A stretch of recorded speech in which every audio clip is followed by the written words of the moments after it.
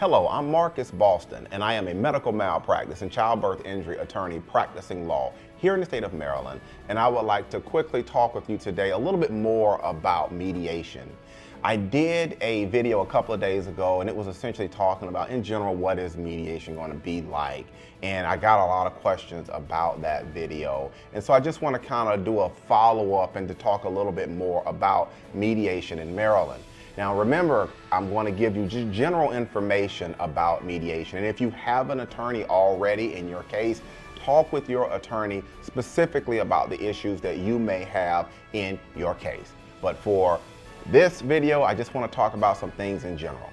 Okay, well, when we're talking about a mediation, more than likely you're going to be in a room just like this. And you got to understand that each mediator may do things differently or in a different way. So I'm going to just give you some of the general things of how things may play out. But you may start off in a room like this, and the mediator can be at the table, and both sides will be present at the table. And at the start of things, the mediator may ask for the parties to start off together. The mediator may say to one side, okay, I would like you to give me a brief summary of the facts and some of the issues in the case.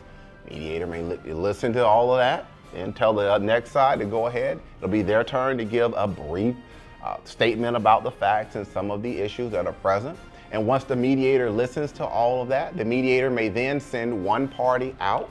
And the purpose of this is to be able to talk with that remaining party about specific issues that they are dealing with with the case.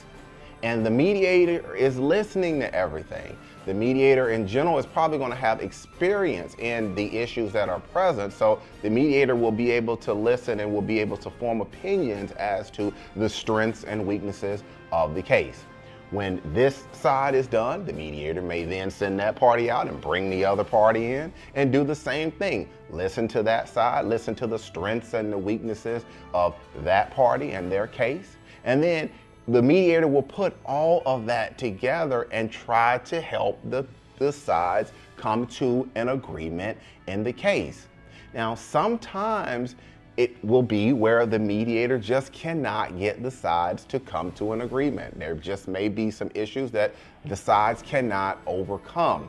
When this occurs, then the mediator will go ahead and then close the mediation, and the case will continue to move forward on the trial track in whatever court that it is in.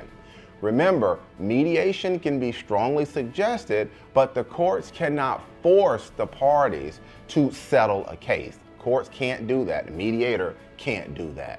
So if the parties cannot come to an agreement during the mediation itself, then the case, like I said, will go ahead and go back on the docket. It'll move straight on through, go straight to trial or wherever it is in the process. So why have I taken the time today to talk with you about this? Because I realize if you're watching this video right now, you may have questions about this process. You may be wondering, well, I'm getting ready to do a mediation. What is it going to be like?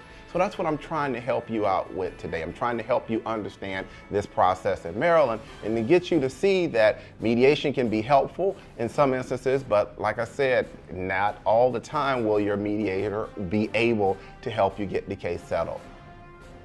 If you have more questions about what's going on with your situation, maybe you're watching this video right now because you have suffered an injury and you suffered this injury while under the care of a doctor or a hospital, and now you have questions about what's going to happen to you. Maybe you're worried about will you be able to go to work? Will you need long-term care and treatment? All of these things that may be coming up in your mind right now.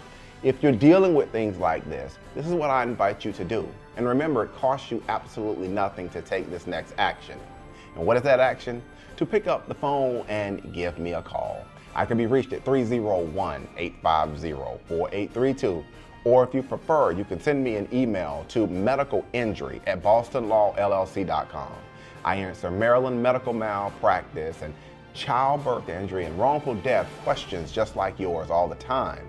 And I will be happy to take some time and listen to your story.